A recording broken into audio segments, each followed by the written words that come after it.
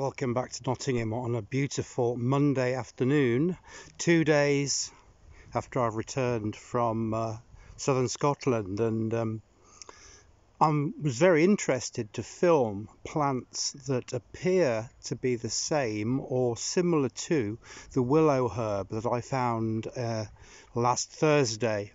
And I said that this was a mystery willow herb. Well, this is what people have suggested and what I thought this willow herb might be. It's codlins and cream, great willow herb, and I have to say that it's about five feet tall.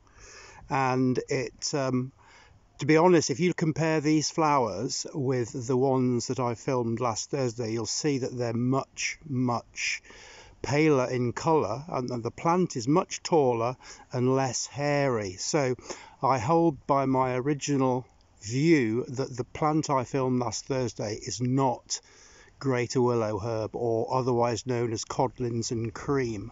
Uh, the flowers on this I would say are slightly larger but they're much paler in colour and the seed pods are much paler in colour and much longer.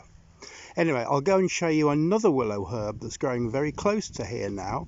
Um, Rose Bay willow herb fireweed and see what that looks like now. And this is fireweed, Epilobium angustifolium, and you can just see how much seed this plant has set. It's absolutely covered in seed. I've never seen so much seed set on a rose bay willow herb like this. It's incredibly impressive. And if I take the seeds off, you can see that they're parachutes and they just float away. You can just see if I disturb some, look at them go. Look at them go.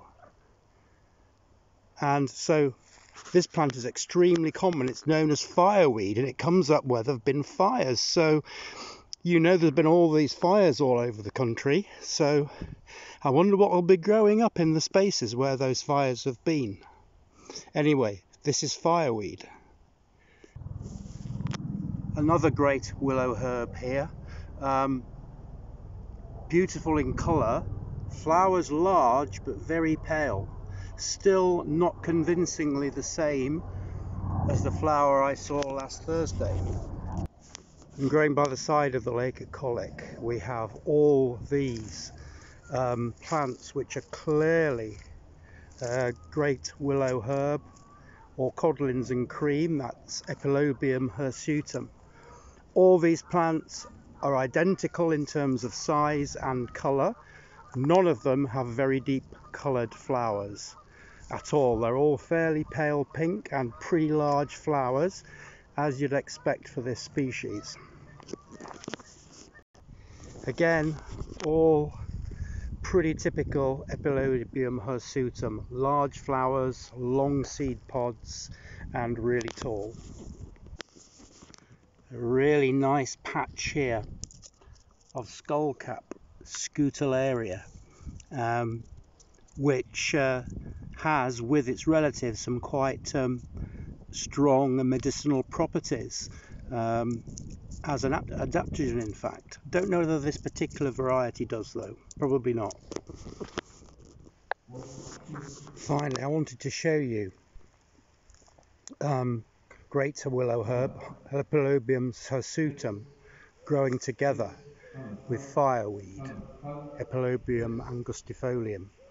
And there's no doubt in my mind that if these plants are growing together, they could hybridize. So it's quite interesting. None of these greater willow herbs have released any seeds yet on any plants that I've just been looking at this afternoon, whereas the greater, sorry, the rosebay willow herb, the fireweed, has uh, released seed.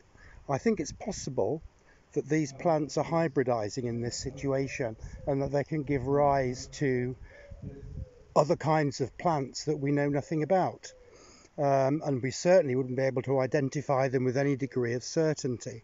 And that's possibly what the plant on the Berwickshire coastal walk was.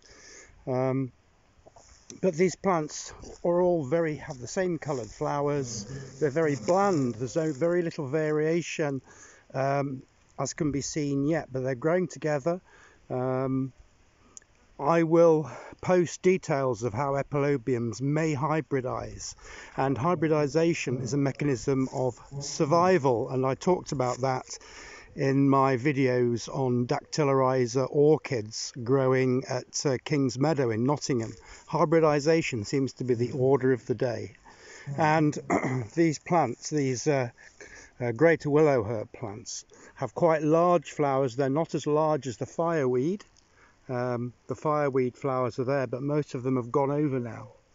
But um, I'm going to be looking at hybridization in wildflowers in much more detail over the next few weeks and months because I think it's important as a survival strategy uh, in, in environmental change. And I want to look at this in some detail, but I don't think there's been a huge amount published on it yet.